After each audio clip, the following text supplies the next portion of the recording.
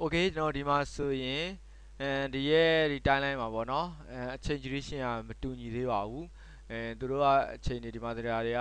အဲ dancer တို့ဘာတို့ဒီ mp3 သချင်းတွေကအချိန်တိုးနေတယ်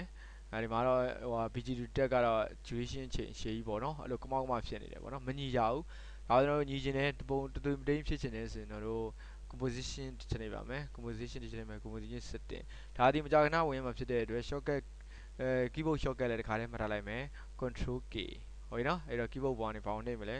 control k ကိုနှိပ်လိုက်မယ်ဟုတ်ပြီနော်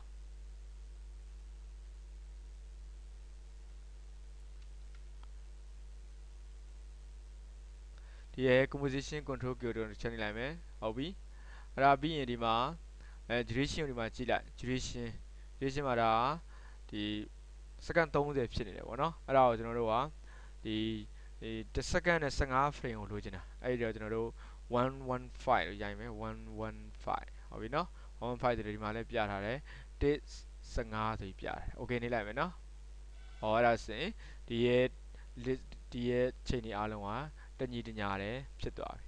โอเคနော်အဲ့ဒါဆိုရင်တို့ဒီရဲ့ composition ရဲ့ကြာချိန်ရ composition ရဲ့ကြာချိန်လေးပြောပြအောင်ထပ်ပြောကြမယ်နော်တိုက်ဆိုင်လို့ဒါပါလဲဆိုတော့ဒီ composition ကကျွန်တော်တို့ video တွေတိဖြတ်ဖို့မဟုတ်ဘူးဟို video တိဖြတ်ဖို့မဟုတ်ဘူးဆိုတော့ video editing လို့ software ကြီးလို့ကြီးအဲအချိန်ကြာကြီးနဲ့ timeline အရှည်ကြီးနဲ့သုံးရတဲ့ software မျိုးစားမဟုတ်ဘူးပေါ့နော်အချိန်ပိုင်းလေးတွင်းမှာဥပမာကျွန်တော်တို့ဒါအဲကြော်ညာတွေပါလေဆိုတော့ second second ပိုင်းလေးတွေပေါ့နော်အဲ second ပိုင်းကြော်ညာလေးတွေတို့ဖြတ်ကနေရိတ်ကနေ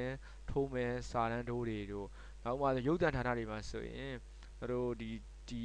အစီအစဉ်တစ်ခုရဲ့အဖွင့်အဖွင့်ပိုင်းတွေအစီအစဉ်တစ်ခုရဲ့အပိတ်ပိုင်းတွေအဲ့လိုမျိုးစမ်းစမ်းပြားစာတန်းထိုးမယ် effect တွေမှာအသုံးပြုတဲ့ software တစ်ခု AI อ่ะเนาะဒါတော့အချိန်ကြီးအများကြီးတောင်းမယ်ဆိုတော့တောင်းလို့ရတာပေါ့เนาะဒါပေမဲ့အချိန်ကြီးအများကြီးမယူပါဘူးလိုမျိုးပဲစက္ကန့်ပိုင်းလေးပဲယူတယ်ဒါဆိုတော့တစ်စက္ကန့်နဲ့15 frame ပဲယူတယ်โอเคเนาะ